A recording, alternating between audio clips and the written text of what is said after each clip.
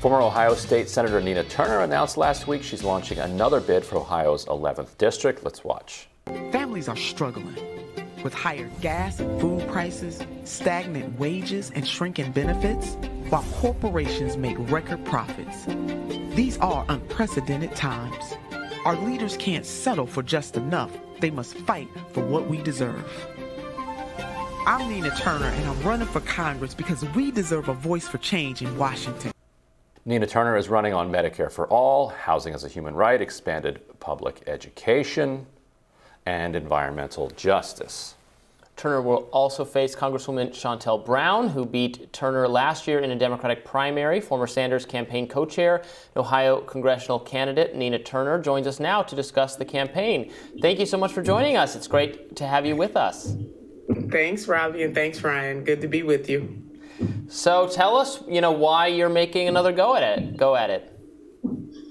Well, the challenges and or framed another way, the, the things that motivated me to run the last time still motivate me to run it this time. The challenges that the people of Greater Cleveland face are so pronounced as are those sim- similar challenges happening across the country. But I really do believe that my district, my community, this community that I love so much deserves a champion. It is one thing to vote the right way, but it is another thing to be a fighter. And so whether it is healthcare, whether it is wages that are not keeping up with inflation, uh, people are suffering and they, they definitely need a champion. And, the, and Greater Cleveland is definitely understands what it means to have a champion. So Shontel Brown yesterday announced that she would be co-sponsoring uh, Medicare for All in, in the House. What was your reaction when you saw that? How do you think that that'll play into the race? You know, we, we, we, we want people to come to, to the left. Welcome. Welcome. The water's just fine. Glad you, you're finally uh, seeing the, the light. Uh, there were many opportunities to be out there on the front lines on this issue, as I have been and so many others, and you don't necessarily have to have an elected title to do so. So we see what's happening here. That being said, I, I do want to see more people uh, uh want to see those kinds of things happen in this country. So I'm glad that uh, she's following my lead. Well, and, and you, you know, you, you're applying pressure to move people uh, to the left. Is that part of what you're trying to do, trying to accomplish? Well, I want to win this race, Robbie, no doubt about it. But yeah, I do want the people who are elected to Congress to understand that the needs are great and that we don't have a whole lot of time to show people that we really care about them and public policy matters. Uh, poverty, for example, is a, is a policy choice, and that the people who hold the biggest titles and who walk the halls of Congress and also who occupy the White House have an opportunity to give people something they can feel. And it is no surprise to you, Robbie or Ryan, what I believe that those things are, and I'm not alone. The majority of the American people, no matter how they identify themselves politically, poll after poll, survey after survey shows that they do want to see uh, health care as a human right. They do want to see minimum wage increase. They do know that they need paid medical leave or paid family leave, for example. They want to see voting rights expanded and protected. So I, the progressive agenda itself really is America's agenda, whether or not people identify themselves as progressive progressives or not. We take these things issue by issue, and we know one thing for certain that people are suffering, especially if you're poor, working poor, and barely middle class, and you need help. And part of that help has to come from the federal government showing through public policy that they get it and that they really care about people. And that really is what the agenda, the progressive agenda, is all about. And let's talk about the district that you that you're going to be running in, because gerrymandering is one of the under-discussed elements of voting rights. Because the right to vote doesn't just include the right to go to a ballot box and to put your ballot into that box and then to go home. Your, your vote also has to count and, and be meaningful for that to matter. So Ohio is a state that you, you tell me has a, is about 45 percent, 40 to 45 percent Democratic at this point, but the new map uh, that Republicans had proposed would make it a 13 to 2 uh, congressional delegation. That's so two out of 13 is not remotely 45%. So that's a massive number of people being disenfranchised. So in order to do that, you're going to pack a lot of Democrats into the district that you're running in. But which Democrats wind up in that district could influence, you know, whether it's you or Brown who come out on top. You know, you did extremely well in, in both Akron and, and Cleveland. Uh, Brown did better in the in the suburbs. And so, what, what's your what's your guess at this point of how the the district is going to look. The court recently struck down the 13 to 2 map as unconstitutional. Do you think that they'll manage to get a similar map through? And, and what, what, are you, what are you expecting to be the place where you're going to run? Well, I know for sure, and Ryan, yeah, gerrymandering is horrible and it's happening all over the country, and it's something that should not be a partisan issue, but we all know that it is. So I'm gonna put that to the side to say that what we do know for certain right now is that all of Cleveland will be in whatever new configuration of the 11th congressional district happens.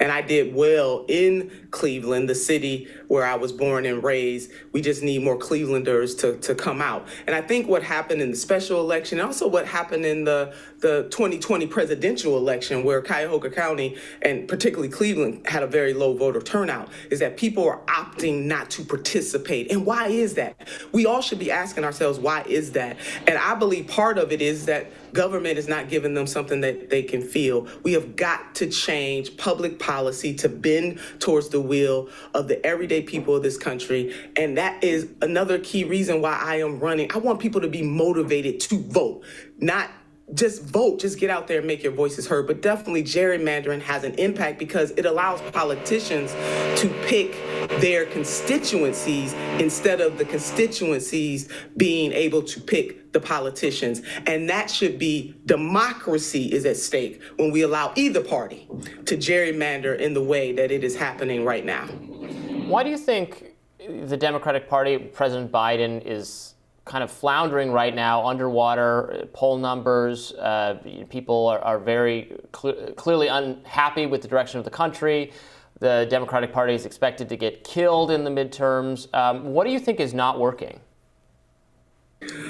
Well, Robbie, recognizing people's pain you know, although it is true, the bipartisan infrastructure bill passed. I want to use that as an example. That is true.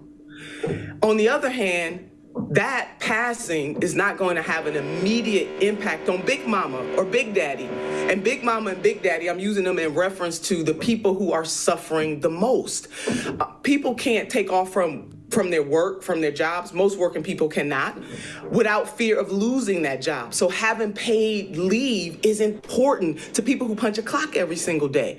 That is something that the Congress could do right away making sure that you increase the minimum wage has not increased in 11 years. Everything else is going up. Food prices, gas prices, cost of living, up, up, up, up, up. The pay of CEOs, up, up, up, up, up. But what is remaining the same or stagnant is the wages of everyday people. So part of the challenge, Robbie, is pushing policy that changes the material conditions of, of everyday people right now, immediately. I mean, for example, if you were in the middle ocean drowning, you don't want somebody to say, oh, we're going to break this up. We'll get to you when we get to you. You want to know that somebody's going to come out and save you. And that is what needs to happen, especially in the midst of a pandemic. And it's just not happening.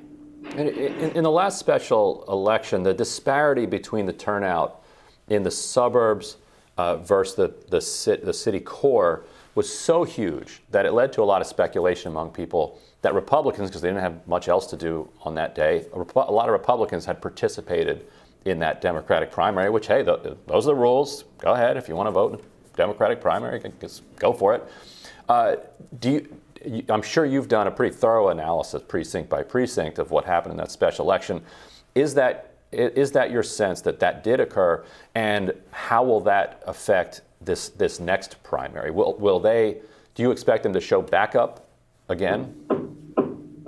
It is true, Ryan, and we have done some analysis. Thousands of Republicans actually participated in the special election. Let us not forget that it was the only election going on at the mm-hmm. time in in in the country, and so all eyes were on it. Uh, our campaign even has have emails uh, to the effect of some Democrats asking Republicans to get into this special primary, and the target was definitely me. There was an anybody but Nina campaign wage, 13 people in the race, but it the target. I was the target, and, and they understood. I understand why, even though I don't like it, because they know that my only special interest will be the people that I serve. So your point, Ryan, about the city of of Cleveland, the Cleveland pop proper being outpaced like that. There is something wrong with other forces being able to come in and decide who the leaders should be. That should not happen. And I just believe in the Democratic primary that Democratic Democratic leaning uh, independents and also Democrats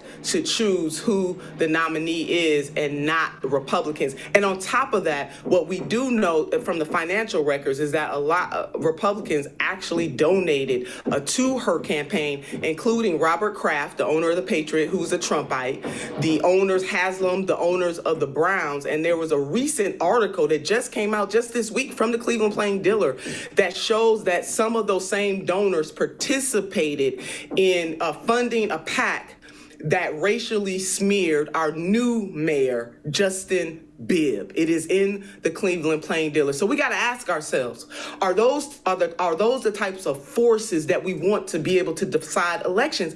And not only Ryan and Robbie, not only for the 11th district, because I want people to understand me clearly. I am about democracy, no matter if it's in my district and state or somewhere else. We must all be concerned, no matter who we support, about forces that don't they don't care about these communities coming in and having an outsized influence on the elections. And that is why I am for campaign finance reform. People with the most money should not have larger voices, and they also should not be able to come in and dictate who a nominee is, whether they're Democrat or Republican. I am proud that my campaign, yeah. the overwhelming majority of the money, money that we raised came from grassroots donations. That is a difference between grassroots donors building a force and having wealthy interests decide who's going to lead. Nina Turner, thank you so much for being with us. We really appreciate it. Thank you both so much. Stay with us. We'll have more Rising in just a minute.